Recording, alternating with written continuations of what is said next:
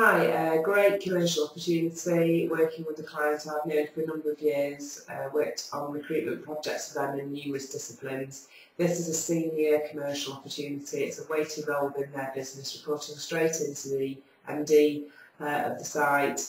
Big opportunity for somebody to make their mark. I think of interest here is they like people who are entrepreneurial, who are not necessarily looking for that big corporate structure. It really is a stand on your own two feet uh, type of operation, but people are definitely rewarded uh, on delivery here.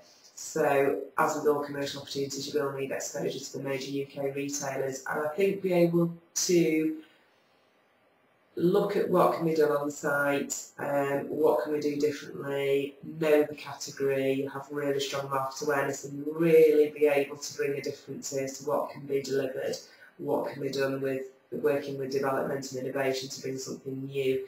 Uh, I think to develop new business and certainly work on the relationships that are there but bring some new business into this role so it, it's, it's both. It's not just an account manager, you're definitely going to be asked to bring in new business uh, but yeah, an interest, a very interesting commercial opportunity.